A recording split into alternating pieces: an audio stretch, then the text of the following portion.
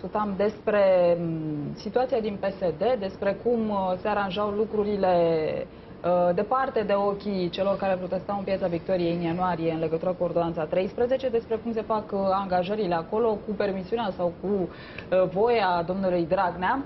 Și v-am adus în atenție cazul de la Vaslui, pentru că a fost o numire co- cel puțin controversată la prefectura uh, la Vaslui. Prefectul este un uh, domn și aș vrea să-i rog pe colegi să ne și arate imagini. Eduard Popica, noul prefect uh, de Vaslui, uh, este un uh, tânăr de 33 de ani uh, care nu are niciun fel de experiență, un tânăr cunoscut pe plan local drept un băiat de bani gata, fără a deține experiență în administrație.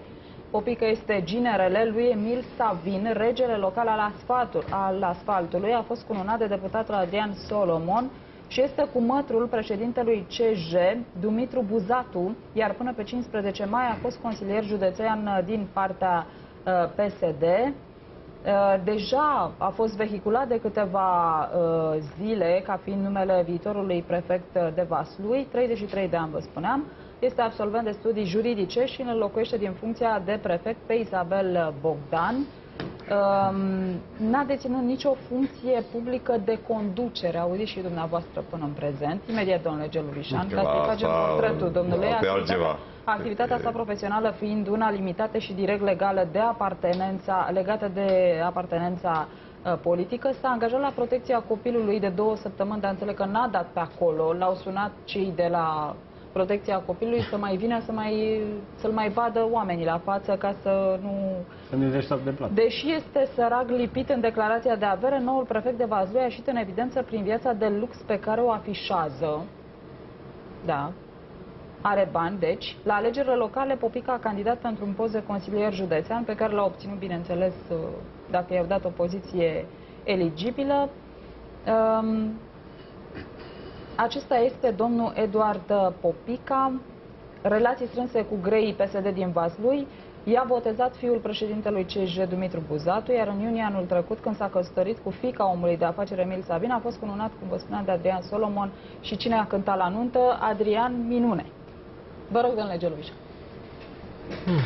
Doamnă, vedeți dumneavoastră distanța, diferența dintre ceea ce vorbim noi, toată doctunii, eu nu, la televizor în București, eu nu am această pretenție, cea inteligent, de cum a România, cum rezistăm noi, până- și ce se întâmplă la bază în județe, este kilometrică. Nu vă vine să vă imaginați. Cazul pe care tocmai l-ați prezentat, vă garantez că nu este singular în România. Domnule Vișan, una e să-i dai un post de consilier. Doamnă, dacă sau are ceva carnet acolo de și să-l pui partid, Să conducă un doamnă, dacă județ. are carnet de partid, de aici încolo, nu contează dacă scrie, dacă citește Dar și dacă fă are și niște bani în secretară, buzunar. fă femeie Nu, de nu, doamnă, serviciu. nu, pentru că depinde cât își Dacă pagă dă trebuie și să ai unde un dă. serviciu. Depinde câți bani dă și unde uh, îi plasează. Înțelegeți? Așa funcționează. Încă o dată vă spuneam ceva mai devreme și mă bucur că aveți una... Habar n-am că vă dați seama cine e individul, da? Și nici nu e vreo preocupare, trebuie să-l și uităm. Cât de repede poate îl sc- îl schimbă și din prefect uh, Grindeanu. Dar în 2000-2004 a început nebunia asta, iar PDL-ul după 2004 a continuat-o, în care toate numirile veneau cu aprobarea de la partid din filiala respectivă. De unde credeți că au apărut toți dei ca nimeni la București în tot felul de funcții? Că au fost trimiși, că au avut carnet de partid și au lipit frumos afișe pe stânga și că au dat niște bani. Toată România este politizată în funcționărime, funcționărime de sus până jos. Dacă le mai dăm și primarilor chestia asta, chiar omorâm de tot uh, sistemul. Sărim în aer. Înțelegeți? Învățământ, sănătate. Uh, Doamne, atât timp cât numești directorii de școli, de adjuncții, politic, inspector general, când Da, numești... dar vedeți, asta nu e doar o Doamnă- practică a PSD-ului, domnule... Păi asta spuneam și eu, PD-ul în 2004 Și dacă a vin constatat cele- că merge, La acolo fel. sunt 2 milioane de voturi. Eu vă spun că în Craiova, care zic, domne, nu știu ce, da, primărie, Consiliul, totul este PSD. Păi de unde să iei votul, frate? Da? Când ăla știe că îl dă afară. Acum când va fi și cu primarii și cu președinții de consilii județene, ne-am ars cu toții. Da, Da, uh, voiam să asta e vă mai dau România reală. informații în legătură cu familia acestui domn, dincolo de faptul că nu are experiență și că îi plac manelele. Socrul lui, Emil Sabin, este cunoscut ca fiind un apropiat al mai marilor PSD. iar numele lui Emil Savin a fost implicat de-a lungul anilor în mai multe scandaluri. În mai 2014, deci recent, afaceristul a fost suspectat că ar fi călcat intenționat cu autoturismul un cioban, însă la finalul anchetei ginerele său, Cornel Șelaru, a fost pus sub acuzare de omor, fiind judecat în prezent de Tribunalul Vaslui. Deci lucruri mult mai grave decât că Pentru nu că are sunt experiență. satrat- Deși pentru sunt Vaslui, satrat local. pentru Vaslui contează cel mai mult asta, că nu are nu, nu, experiență. opriți-vă. Habar nu are ce are nu, de făcut. opriți-vă. Să nu mai faceți că cu, cu un județ că e mai rău decât altul sau că e mai sărac decât altul. Da? Că Păi vorbeam ce cu să domnul, facem? Dacă da? e- Teleorman, e sărăcie Teleorman e în vai de Vaslui, mamă și de om, domnul- da? Și acolo e domnul sărăcia. da. Nu e sărăcie în Vaslui? E sărăcie, Ba da, ba dar, da. dar cei care, Eu n-am cei zis care că au au dus bine oamenii de sărăcia acolo. sunt conducătorii. Evident. Această Este un nenorocită de cerc vicios, politizare. Evident, Înțelegeți? evident Eu că Am auzit Da, acum acest cu oaia, că domn- nu știu ce, dar am uitat că fluturul îi punea lui Traian Băsescu, scria Traian Băsescu din oi, da? Cum uităm repede că ăia care aveau Da, aceleași mă, dar stați limbi- un pic, n-avem da. nimic cu oaia, avem cu politicieni ăștia de pântării, baronii ăștia care au condus și Teleormanu și Vazluiu, care i-au nenorocit și pe teleormăneni și pe vazluieni, pentru că pe măsură ce averea familiei Dragnea crește, uh, să duce în cap Teleormanu, care acum câțiva ani nu era atât de rău, acum bate Vazluiu și la șomaj și la ajutoare sociale, are aproape dublu față de media pe țară la șomaj Teleormanu, iar în Vazlui nu vă supărați, din toate partidele, și domnul Buzatu, și tovarășul ăla de la PMP, Bichineț, Toată lumea Ce? a condus Nu știu. vazluiul ăla, cum, cum, cum, cum l-a condus și a ajuns aici problema acestui domnișor în imagine, nu e că îi plac manelele, că Da, pe mine mă nu rog, mă treaba interesează lui, ce da. muzică îi place, poate să-i placă și, uh, uh, cum să zic eu, Bach. Problema lui este că n-are nicio experiență Și calificare. adevărată pentru funcția de prefect și că este o ofensă adusă sutelor, dacă nu miilor de funcționari publici din România, care s-au pregătit și care, pentru că au fost funcționari publici și n-au pupat poala cui trebuie de la nu știu ce partid, au rămas fără funcții, nu sunt promovați în funcțiile astea, care teoretic sunt apolitice, nu? Un alt funcționar Dom'le, public. Atenție, înalt este un funcțio- alt funcționar Dom'le, public. Deci, încă o dată, E cea mai înaltă avem demnitate pentru un funcționari funcționar. publici care nu mai sunt, nu sunt membri de partid, care și-au făcut școli pe bune, care au acumulat experiență de 20 de ani în administrația publică și care nu sunt promovați prefecți. Pentru că n-au carnet de partid. Da? Pentru că n-au carnet de partid. Și uh, domnișorul ăsta, din, uh, nu știu, trăgea de fiare ce făcea el, brusc devine prefect. Dom'le, prefectul, în afară de faptul că ni se pare așa o funcție, domnul numește guvernul, dom'le, veghează la legalitatea uh, la, la aplicarea legali, le- legalității în județul Va- Vă dați seama ce responsabilitate. Și tine, O să fie domnișorul atât de ăsta, bun. Gândiți-vă că, Cum? că prefectul este singurul care poate să atace în contencios hotărâri de Îi dă o Consiliul șansă, Local. domnul Comandă ISU. Comandă ISU. Azi- Doamne azi- ferește, se întâmplă un accident teribil, Imediat, un da. colectiv. Dar să nu fugiți de ceva. Suceava, că El și la este Bihor la comandantul tine e la suprem. fel cu ăsta. de- de- Peste tot e la fel. Oameni buni. Acum se explică toată strategia PSD. Dar voi nu vreți să vedeți. Ah, măi. De ce a Deci de pus-o, întâi iunie ne-ai de spus-o pe ce a asta. pus-o pe fătuța aia vicepreședinte la Agenția Națională, uh, Agenția ANFP. Națională a Funcționarilor Publici? Care Care?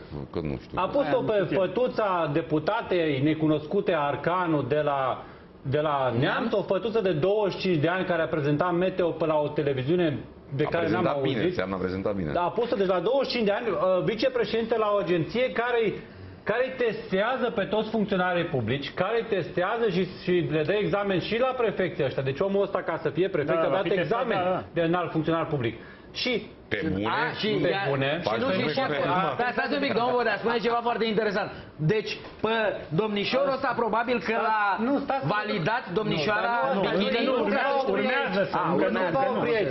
Opri aici. Fata asta e deschizătoare de drumuri pentru PSD și pentru Cred noua că îți place de ea. generație. Nu cred de- că îți place de ea.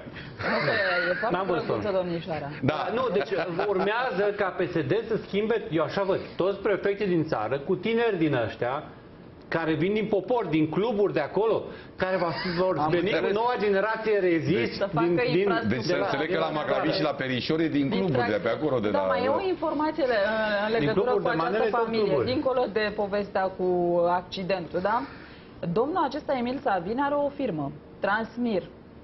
Așa. Transmir, da? O căutăm, a nu? reușit performanța de a-și tripla cifra de afaceri în plină criză economică în 2010, fiind anul de glorie, cu o cifră de afaceri de 63 de milioane 344 Dintre care cu statul- cu statul și un câte a avut? profit de 9 milioane 300 Mai exact, cu statul. Consiliul Județean și Primăria. Transmiri este firma care a câștigat aproape toate licitațiile Așa. Consiliului Județean Așa. Vaslui privind proiectarea, asfaltarea și repararea drumurilor din Vi se județ. pare La o cunoscut? pagină Păi vă cu pot cita un drumurile. articol de... Vă rog. Mi din, se pare uh, cunoscut?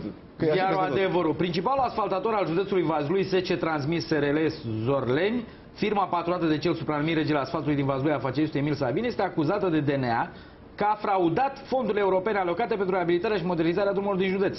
Procurorii DNA au stabilit uh, prejudiciul la peste un milion de lei, fiind instituții, uh, fi, uh, fiind instituții de sechestre pe bunurile Transmir. Deci este o companie care are toate recomandările, uh, domnul ăsta. Deci, uh, socru, pus pe tata prefect socru pe ia în băiat. război cu DNA-ul, asfaltează, mă gândesc că aici există și o, cum să spun eu, comuniune spirituală între domnul Dragnea, care vine din județul, nu, asfaltatorilor celebri de la Teldrum și domnișorul ăsta care Nu. este ginele Știți cum unui au făcut asfaltator. ei? Au stat, stăteau probabil bătrânii, bă, Savin și Buzatu și ceilalți, stăteau duminică seara la o bere și a venit băiatul pe acolo și el și a zis, bă, unde mergi? A, mă duc la, cu băieții la club. Și ei au discutat bătrânii între ei, măi, ce facem cu ăsta? Să-l punem să muncească și el, ca și noi, să facă niște bani. A, păi am eu loc pe un post de prefect liber. Hai că-l punem. Și l-au aranjat pe băiat. El trebuie să facă oricum ce zic ei. Că până la urmă, uh, la Bihor, ca să vă, să vă dau tot de exemplu de acolo, la prefect, la Bolojan, când era prefect, povestită de el, după ce a fost instalat prefect, a venit un băiat de la Vamă în audiență. L-a primit și el a venit și a pus o servietă lângă el, lângă birou. Și ăsta a întrebat ce cu servieta aia. Postul. "A, Pentru dumneavoastră. Nu era, nu că nu vrea să... e- Omul venise, era angajat acolo. Venise doar să nu au vorbit banalități și să plece. Ia servieta. Nu, zice, e pentru dumneavoastră. Ia-o mă de aici. Omul s-a prins repede ce Ia, Nu că e pentru dumneavoastră. Ia-o. Domnul prefect, dar toți ceilalți au primit-o. De ce? Păi, Pleacă de aici. Deci toți prefecții ăștia. Bun, acolo avem vamă. Deci aici avem vamă. Și la Vaslui încă o vamă mai- acum Da. mai periculoasă Bun, decât ce dracu, cea din bun, Micro. Vamă, Vama din Vaslui ANPP-ul, e mai bună. Haideți ANPP-ul, să-l urmărim toate pe astea. domnul prefect, Da, să vedem înainte ce de se asta- face la Vaslui. Nu, dar dacă nu, eu, eu te rog frumos, Nadia, pe cuvânt acum, ca să râdem până la capăt, că sigur, e un uh, hoho de râs din ăsta, după care o să ne trezim la realitate, că România e condusă de filfizon din ăștia. Dacă nu dați și pe domnișoara de la ANFP în Dacă imagini, eu n-am apucat n-a să făcut vorbim. nimic. Păi nu, da, deci am domnișoara cu care va, n-aveți poza în bikini, Avem, avem, do- da. O să domnișoara cu care va da examen uh, domnișorul ăsta manelist, este foarte A dat deja. pregătită. Nu, nu, nu, că s-a A dat înscris, deja. abia s-a- vă rog abia s-a frumos. înscris. Doamna, Haideți uh, să concluzia mai următoarea. vorbim. deja. În toată Să fii țara, prefect, să fii la curs, după lucrurile aceea dai stau examen. la Nu, fel. dar e numit deja, înțeleg. La fel. Tragedie. Toate lucrările Dacă stau la publice, fel. Consilii județene primării Așa sunt, se explică. sunt câștigate de clienți. Că e PSD, că e PNL, că e ce vreți, este la fel peste tot. Da. Dacă nu Deci, spunem așa lucrurile e, da, astea, așa e. așa e peste tot. Haideți să Legea e o discutăm puțin prostie despre un alt și o minciună. subiect. Um,